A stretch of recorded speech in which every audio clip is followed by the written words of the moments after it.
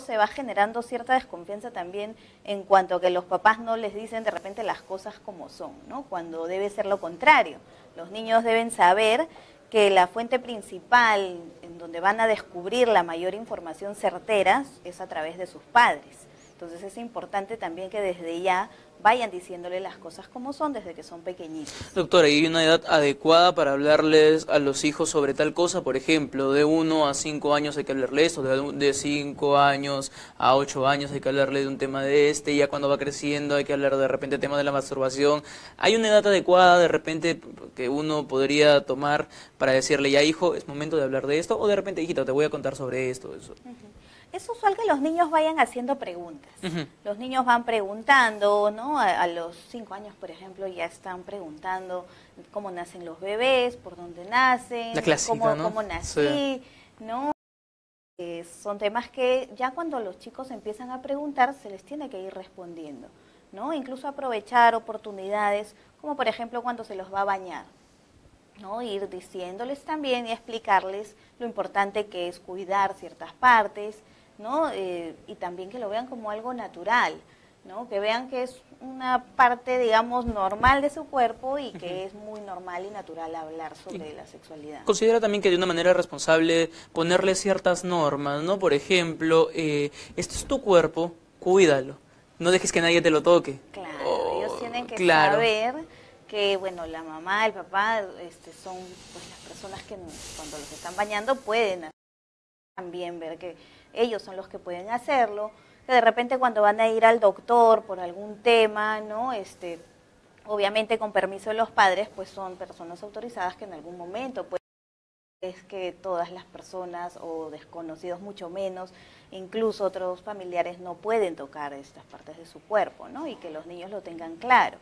Entonces es importante que lo vean como, como algo normal, pero al mismo tiempo que sepan eh, enseñarles que es importante cuidar sus partes del cuerpo. Y respetar la parte del otro también. Respetar, obviamente, ¿no? al, otro, ¿no? De repente eh, ven pues que ya el niño tiene 8 años, dependiendo de la edad, porque hay niños que a los 8 años, otros que de repente a los 12 eh, puedan estar este, empezando ya un proceso de masturbación y eh, obviamente los padres se pueden dar cuenta en algún momento, ¿no? Porque hay señales, hay características, entonces ahí es...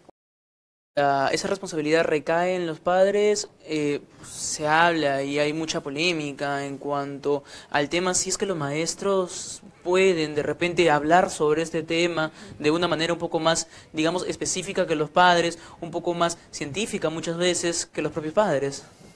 Es importante que en el colegio, porque es un espacio importante en donde los chicos aprenden, eh, también puedan enseñarle los profesores a los alumnos sobre temas de sexualidad, siendo fundamental ¿no? la enseñanza por parte de los papás sobre todo en estos temas, ¿no? porque son los padres quienes van a estar toda la vida y toda la formación con, sus hijos y estos temas, eh, como te decía, eh, se los toca desde que son pequeñitos, ¿no? ya van variando. ¿Qué pasa cuando un niño, y este caso se da eh, en varias partes del mundo, hay información sobre eso, cuando un niño viene y dice, papá, yo no sé, no, me siento como una niña, o este, de, acercamiento debe tener el papá ante eso? ¿Se han registrado casos de, hay, hay casos de eso? Sí, hay casos, hay diferentes casos. Cada caso es particular en ese sentido, hay que pues observar ¿no? las características del chico o, la niña, en este caso si es que tuviera juegos de niño, ¿no? Eh, ¿Por qué es el motivo? ¿Qué es lo que puede estar sucediendo? ¿no? Yo me acuerdo tenía el caso de, un pequeño, un niño de 5 años, que tenía algunas características en donde de repente le gustaba ponerse ropas ¿no? más de estilo femenino y luego conversando con los padres, ¿no? Este, bueno, el papá viajaba mucho, su trabajo era de ese tipo, ¿no? Tenía que viajar constantemente y tenía hermanas mayores ya adolescentes. Entonces las chicas estaban en la etapa de comprarse ropa, de maquillarse, ¿no? y el niño pues veía siempre a las hermanas que eran quienes lo cuidaban. Entonces adquiría ciertas conductas, ¿no? Eh, por imitación, ¿no? Hacia las hermanas. Entonces hay que darnos cuenta cuando puede estar pasando una situación más o menos como la que te comento, en donde de repente el niño o la niña pueden estar imitando a alguien o de repente están viendo algún dibujo que, que no es apropiado, porque hay también, y que no debería pues estar al alcance de los chicos, que siempre es importante que los papás puedan estar supervisando qué es lo que ven los chicos.